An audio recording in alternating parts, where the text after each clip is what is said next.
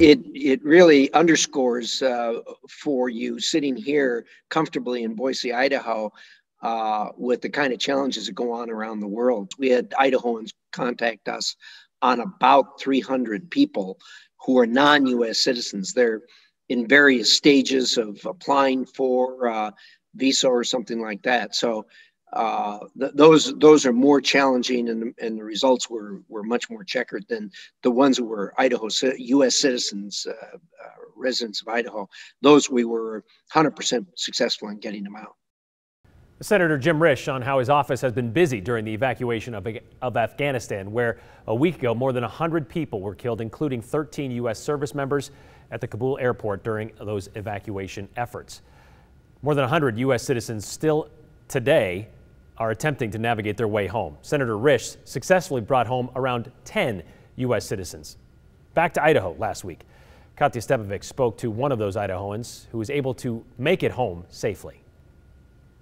Wahida Ivery is a United States citizen who was born in Afghanistan and left in 1981 when Russia invaded the country. That childhood nightmare will never go away because I lived it. But you know, this last trip that I took it to, to Afghanistan, it just, it tops it.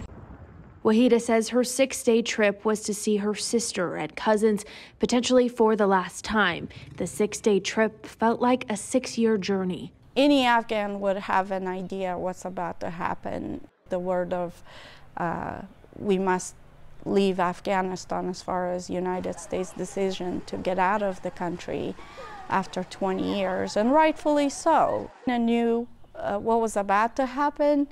Uh, I also knew that if I didn't go see my sister, I'd probably never get to see her again.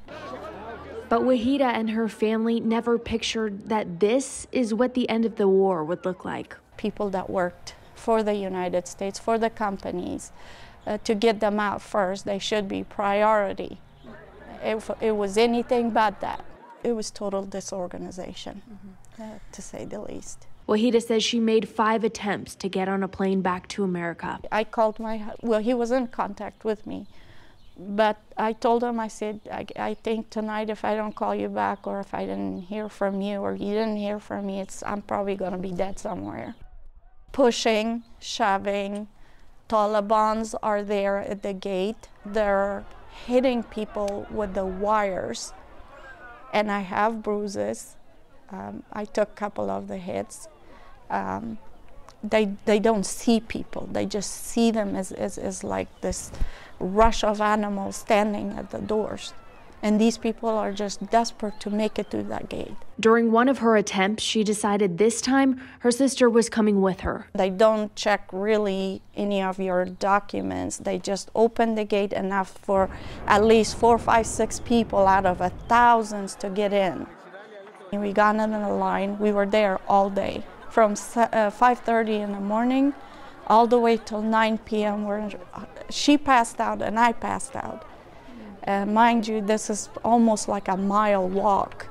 Um, no water, no food, and the temperature was horrendous. She passed out eventually at 9 o'clock. She said, I don't want to be here. I want to go home and we were literally right in front of American soldier waiting for them to open the gate. Wahida says her sister is older and not in good health. She simply couldn't handle the conditions any longer and went back home. On the fifth attempt, Wahida boarded the plane with her cousin, who is an active U.S. Embassy employee.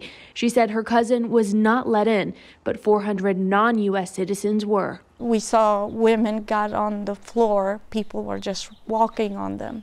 We saw babies, literally babies, and I'm sure you saw a couple of images where the soldiers was watching this happening. So instead of, you know, doing, I mean, they were just pulling babies by the arm from, you know, falling on the ground with their mother holding them, being pushed to the gates. When the suicide bombing mm-hmm. happened, you know, you see this river of blood. And what kind of, I mean, you just can. Not everybody have the stomach for it, even after 45 years of war. Mm-hmm. You can't stomach seeing people's shoes, seeing people's clothes, seeing their blood is just running down that river. and, and, and just say, pretend like it's not there, you just can't. The other thing she can't forget the situation that her sister and thousands of others are left in. Under Taliban's uh, in control of the country, women have no place. You can be a lady at any age, go out just to get yourself a grocery, something as simple as that, unless you have a, ma a man accompany you or have an escort with you, a male escort with you to go out and do the basic everyday life thing. Right now, she's terrified. Uh, I talked to her yesterday. The street that she lives in, uh, when she got up in the morning, was hit twice with the rockets. So she was in her basement, literally in her basement, terrified because they don't know where the next rocket or bullet's going to come from. So yeah, all around for in particular women, it's, it's not easy to be there or live there. Mm. And you're not there to be able to protect her? No, I'm not. Mm. How does that make you feel? Sad.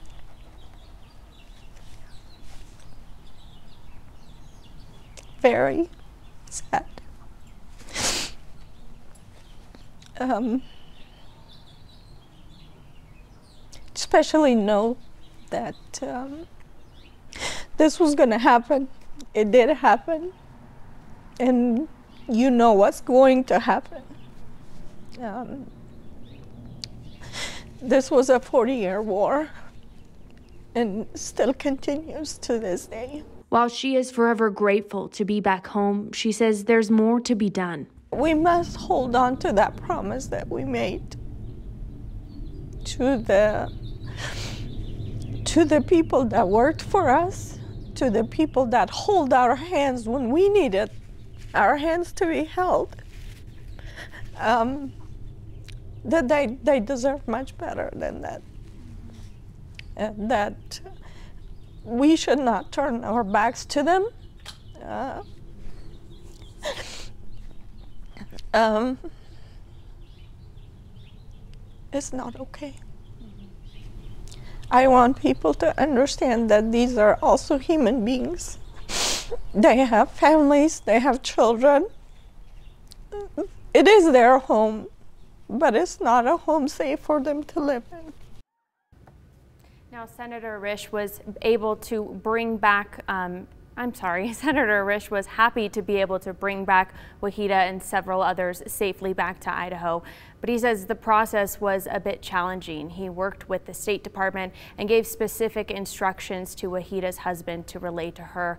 He's no stranger to this process, but he admits that this situation was unique simply because of the chaotic conditions on the ground. And like he said before, there's still about 100 U.S. citizens still needing to get out. Brian. Yeah, but all of the Idahoans that wanted to get back that had the proper paperwork are back home. Is that correct? Correct. Yes, the all U.S. Right. citizens from Idaho are all back. Mm -hmm. All right. Thank you very much, Katya.